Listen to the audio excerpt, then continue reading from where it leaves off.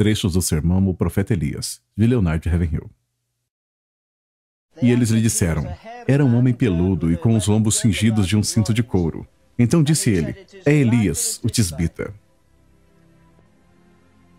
Hoje em dia, nossos profetas usam ternos da Brooks Brothers e fazem o penteado com. Como se chama mesmo? Com secador. E eles usam aqueles anéis enormes e tem todo o estrelismo. E eis aqui um homenzinho que fez uma nação inteira tremer. Eu fico um pouco hostil com diáconos e pastores sempre se lamentando e reclamando das escolas bíblicas. Mas eu vou na casa deles e nunca vejo a Bíblia aberta nem uma vez por semana. E alguns de vocês vêm de casa de pastores, eles não pegam a Bíblia todos os dias para ler na mesa, não é mesmo? Então por que jogar pedra nos russos ou qualquer outro? O juízo deve começar na casa de Deus. Como diz uma antiga canção, não é meu irmão, não é minha irmã, sou eu, Deus, que preciso orar. Mas atualmente a maioria dos pregadores são estúpidos.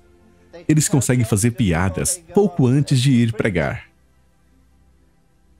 Eu vou dizer o segredo de pregar, não que eu tenha encontrado, eu só redescobri na palavra de Deus. Isaías 66, 2. Para este homem olharei, o que treme da minha palavra.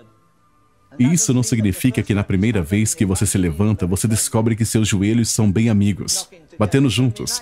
Não significa esse tipo de tremor, mas o tremor da incrível tarefa de representar um Deus santo no mundo profano. Então é Pedro que fala deles pregando com o Espírito Santo enviado do céu. Jesus era o Filho de Deus desde o momento em que ele deixou o ventre de sua mãe, mas ele não pregou antes de ser ungido. Ele se levantou e leu as Escrituras quando ele tinha 12 anos de idade na sinagoga, mas ele nunca pregou. Mas como esses caras ousam pregar só porque tem um pedaço de papel pregado na parede? Com mais ou menos 10 por 18 polegadas de tamanho, dizendo que eles foram ordenados. Não há nenhum homem na terra que pode ordenar a outro homem para o ministério. Só há uma ordenação. As pessoas dizem às vezes, sabe, aqueles homens no cenáculo não foram ordenados, mas é aí que você se engana. Eles foram ordenados sim, porque Jesus diz em João 15,16: Eu vos ordenei. Essa é a única ordenação, a ordenação das mãos furadas.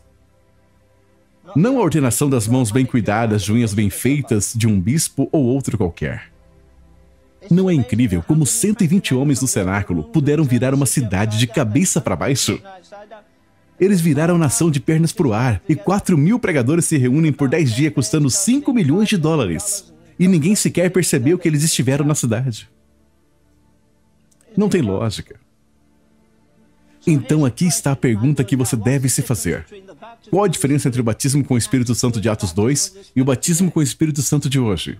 Há uma discrepância terrível.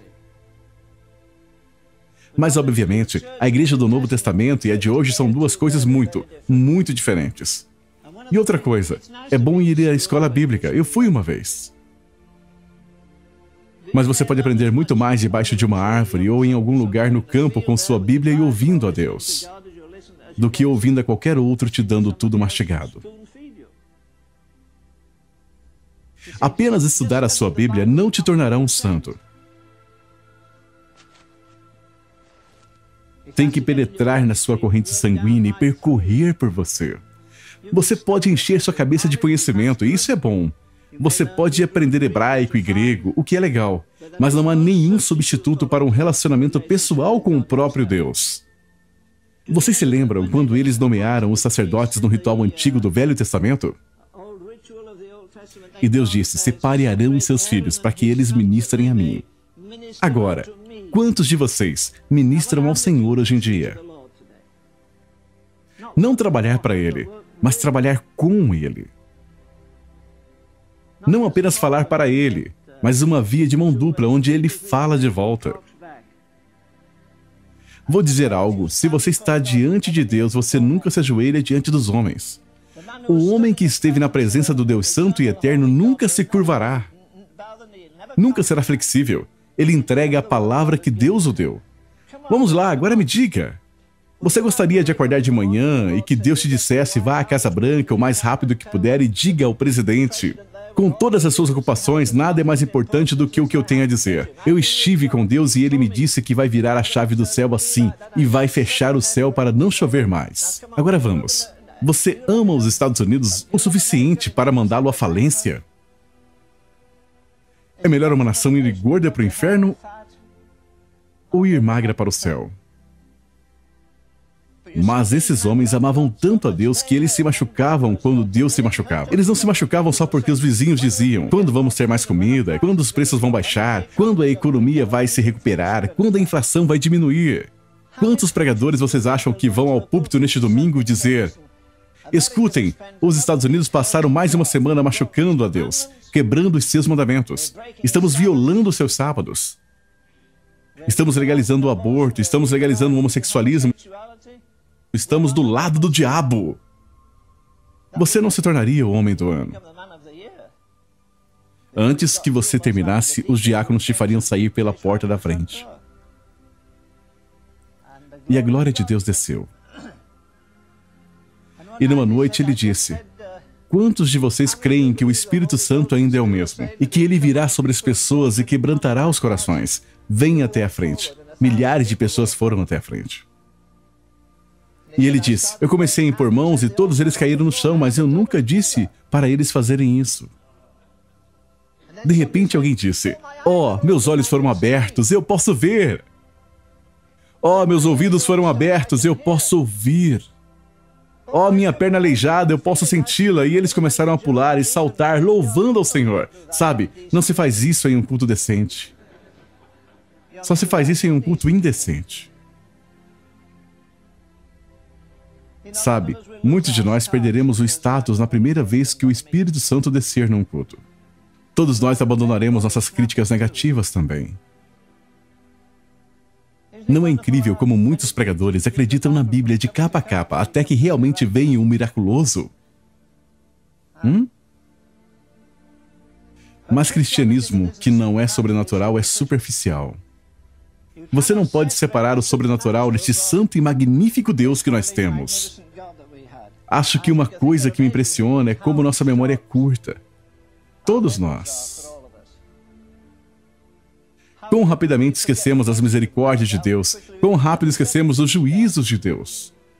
Você pode levantar todas as estatísticas, mas em nome de Deus, por que não paramos de olhar para as dificuldades e não olhamos para Deus?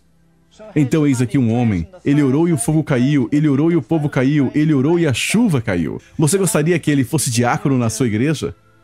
Sabe, nós temos muitos Acabes hoje em dia, mas pouquíssimos Elias.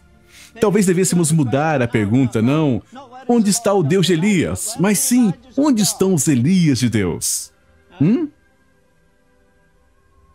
Você acha que está preparado? Seja você um professor aqui ou um aluno para ouvir a voz de Deus dizer: Escute, eu quero você saia e encontre uma caverna e fique lá três anos e meio até ouvir a minha voz.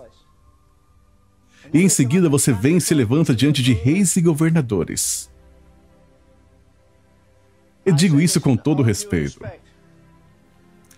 Sabe, não é muito difícil fazer gravações e agitar as pessoas. Não é muito difícil escrever livros. Eu escrevo livros.